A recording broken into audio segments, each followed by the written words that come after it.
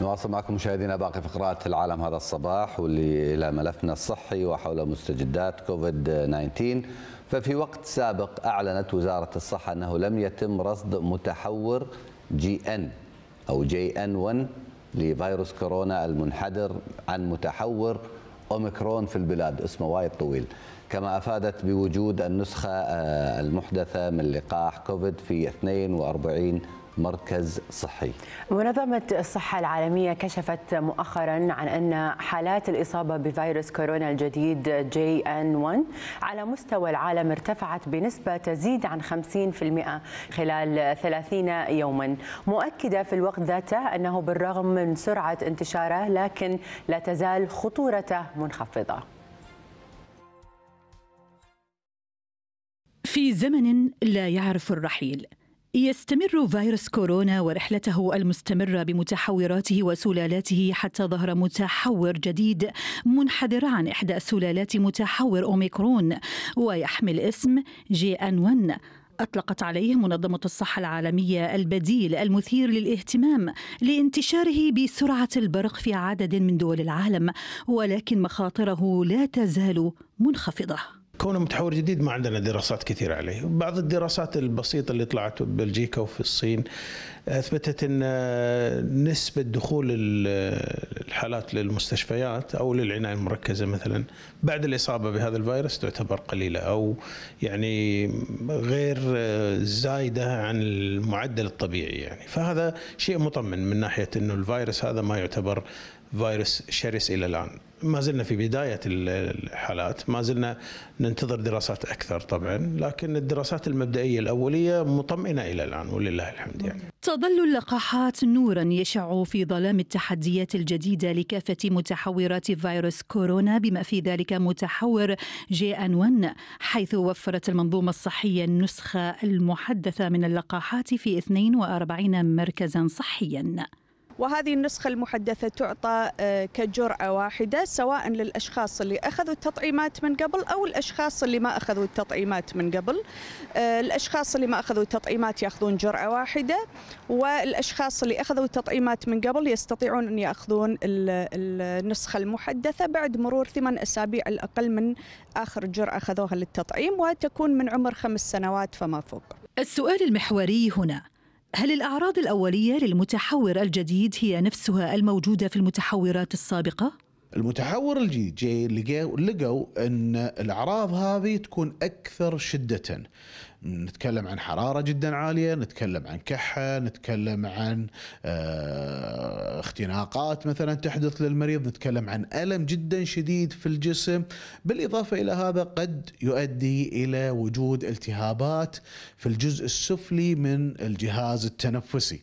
حتى الآن لم ترصد المنظومة الصحية عن وجود إصابات بمتحور جي إن 1 في البلاد وما زالت فرق الفحص الجيني مستمرة في عمليات التتبع. لرصد الأنماط السائدة عن فيروس كورونا. لما أبو علاوي تلفزيون دولة الكويت.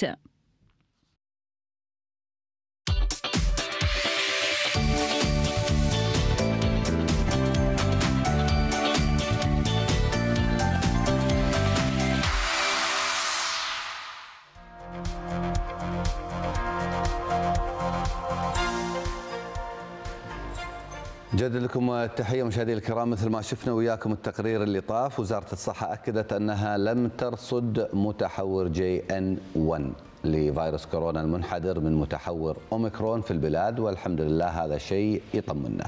فعلا ومنظمة الصحة العالمية أكدت أن حالات الإصابة بفيروس بفيروس كورونا الجديد JN 1 على مستوى العالم ارتفعت بنسبة تزيد عن 50% خلال 30 يوما وهذا ما دفعها لتوجيه تحذيرات.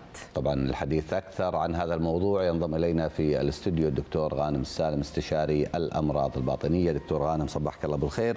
صباح الخير. وحياك الله ويانا في العالم هذا الصباح. شنو هذا المتطور؟ شنو هذا المتحور الجديد اللي طالع لنا ومن فيروس كورونا؟ مو خطر إن شاء الله بس نبي نطمن أيضا السادة المشاهدين. في البداية آه، نسأل الله سبحانه وتعالى أن يغفر للأمير الراحل الشيخ نواف الأحمد آه، طيب الله ثراه. نسأل الله سبحانه وتعالى أن يديم الأمن والأمان على ديرتنا في ظل قيادة آه، سيدي حضرة صاحب سمو أمير البلاد الشيخ مشعل الأحمد الجابر الصباح. الله يحفظه ويطول في عمره.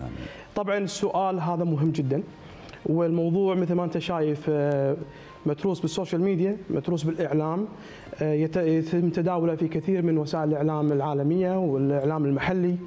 وإحنا مو بعيدين عن موضوع الجي ان 1 لما لقيناه موجود في منطقة الخليج خصوصا في المملكة العربية السعودية. لما أعلنت عن تواجد هذا المتحور الآن في المملكة العربية السعودية فدائما الأسئلة اللي تطرح سواء رحت في الديوانية سواء في العيادة في أي مكان دكتور شلون يعني كورونا لمتى بنخلص من هالسالفة هذه. ما راح نخلص. كل ساعة جاينا متحور جديد كل ساعة طالعين لنا بسالفة جديدة. شنو شنو الموضوع؟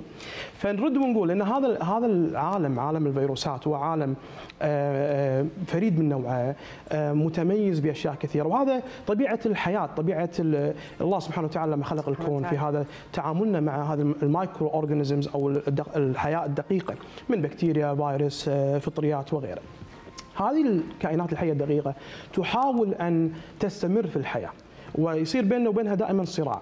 فعشان تستمر في الحياة فتجد أسلوب في أنها تتغير، يعني إحنا دائما نكون سباقين كبشرية في أن نعالج من هذه الفيروسات ونسبقهم بخطوة، مرات هم يسبقونا بخطوة وهذا ما حصل في 2019 لما سمي كوفيد 19 إن الفيروس طلع فجأة بشكل متحور جديد، المناعة ما تعرفه، الإنسان ما يعرفه وسبق الإنسان بخطوة وسبب الكارثة العالمية الله لا يعيدها.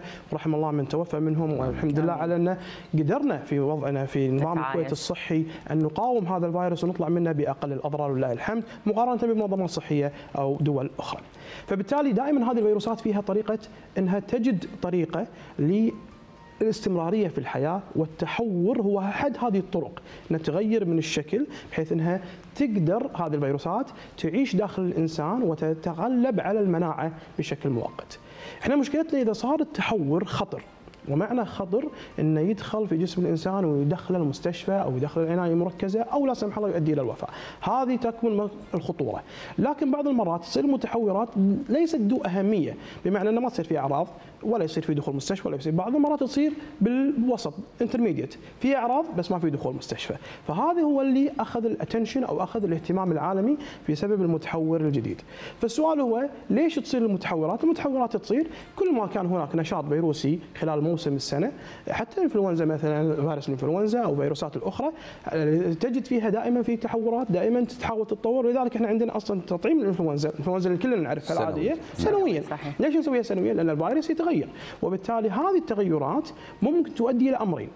إما أن الفيروس ينتهي من الحياة وبالتالي يوقف خلاص ما ينتشر بسبب خطأ في التحور أو أن التحور هذا يخليه شرس جدا وبالتالي يؤثر على حياة الإنسان أو يكون يعني لا أهمية ما لا أهمية يسبب أعراض ما يسبب أعراض فهذه هي أسباب قلت التحور نقطة وايد مهمة دكتور. خطأ في التحور. نعم. طيب خطأ في التحور. ممكن انه يقتل نفسه هذا نعم الفيروس. نعم صحيح. خطأ التحور يخليه مثل خلينا نقول يعني بطريقة أخرى بلغة يس- يفهمها المشاهد يعني. انه يصير في مثل إعاقة ي- يعوق نفسه. هو ما يدري الفيروس لأن التحورات تحدث على مستوى ال- ال- الحمض النووي. كل فيروس في فيروسات فيها حمض نووي RNA في فيروسات فيها حمض نووي DNA هذه الفيروسات لما تيجي تنقسم هذه الشفرة الجينية مالتها تنقسم بطريقة معينة.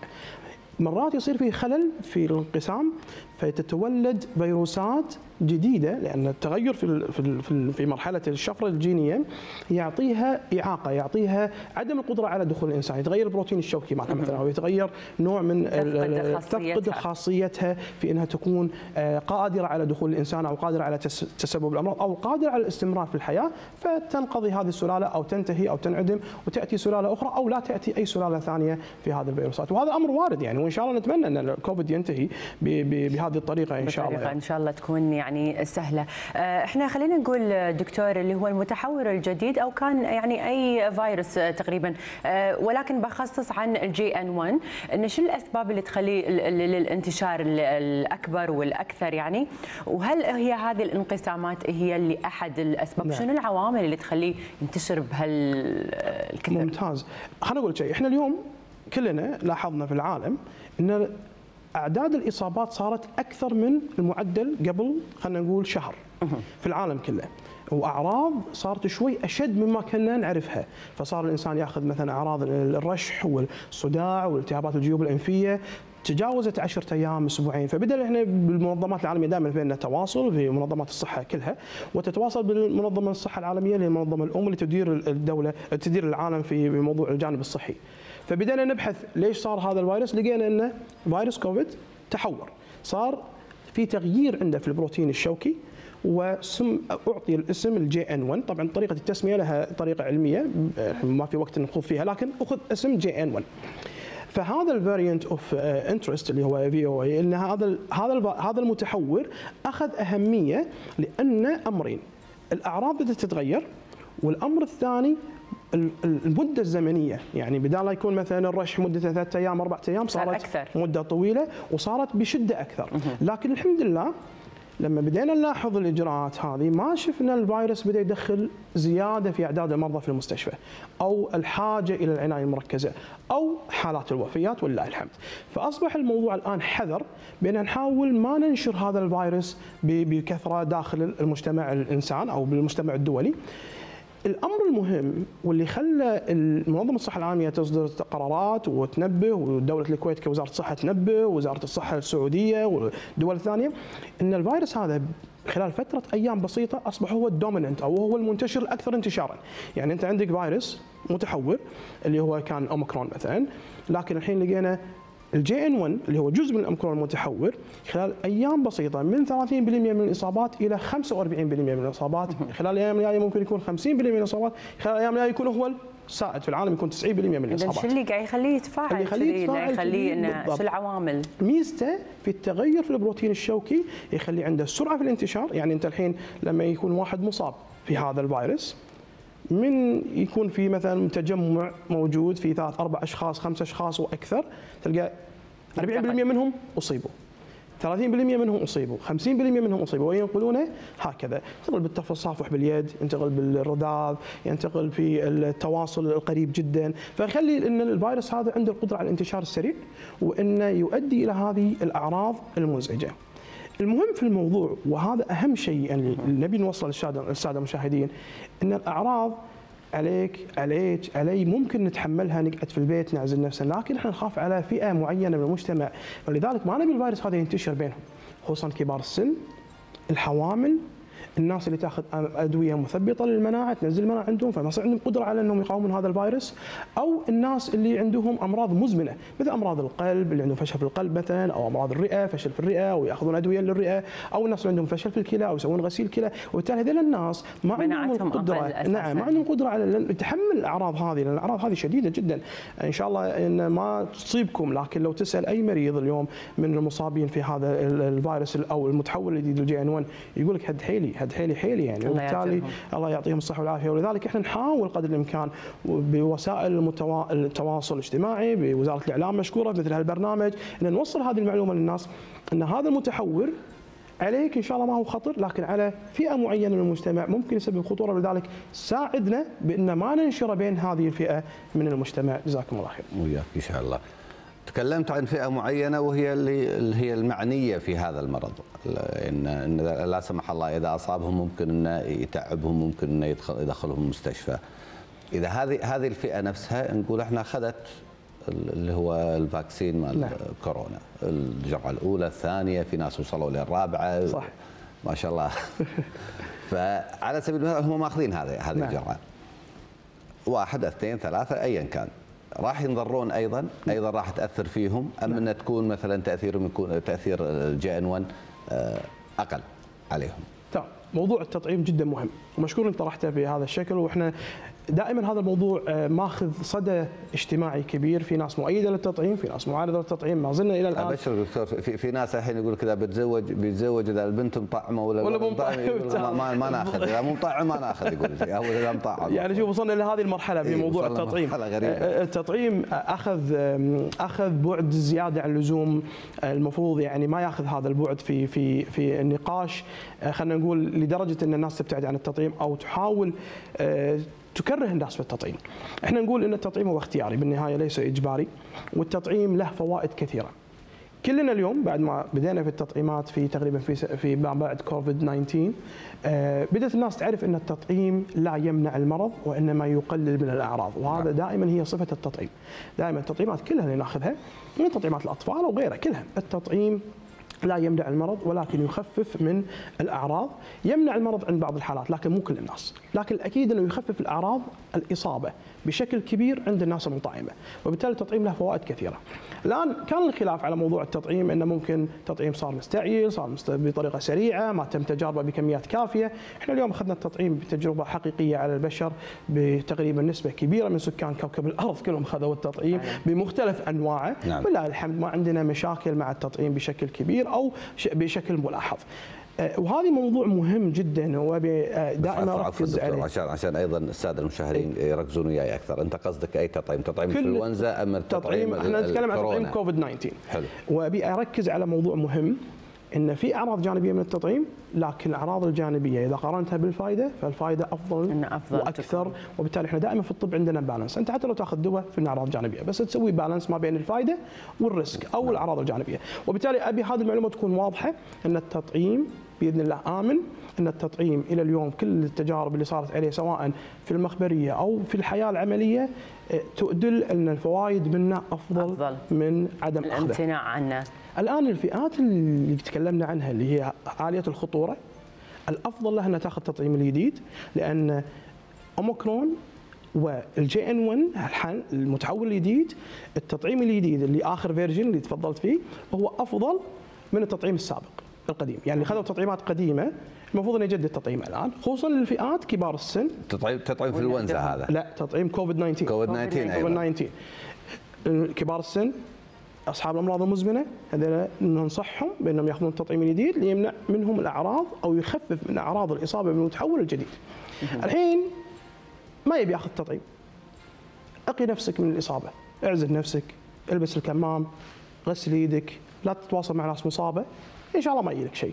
لكن إذا أنت حياتك تتطلب إنك تتواصل تروح المستشفى تراجع فالأفضل والأسلم لك إنك تأخذ التطعيم لتجنب الإصابة أو تقليل من الأعراض إذا أصبت في موضوع المتحور الجديد. من الأماكن المتوقع فيها. قبل شوي دكتور قلت إنه يعني إحنا لازم نساعد بعض عشان نتخطى هذه ال- المتحور الأخير أو المتحور الجديد. بس إحنا شلون نقدر يعني نمنع هذه تعرف إحنا يعني كمجتمع كويتي صحيح. متعودين على آه، الألفة والزوارات وكذي يعني. فيعني شنو ممكن تعطينا نصائح بحل هذا الموضوع؟ موضوع مهم جدا خصوصا إحنا بأجواء جميلة ما شاء الله الحين آه، في ناس تروح المخيمات في. ناس آه، تروح الشاليهات تطلع وبالتالي ومثل ما انت قلتي تفضلتي وهذا كلام 100% صحيح ان إحنا مجتمع جدا اجتماعي. عندنا آه، دائما التواصل ال- الاجتماعي الجسدي بين الناس ال- طريقة سلامنا القبلات طريقة ال- القعدة على صحن واحد نقعد نتشارك في الأكل. دائما هذا هذا أمر واقع هذا أمر في مجتمعنا.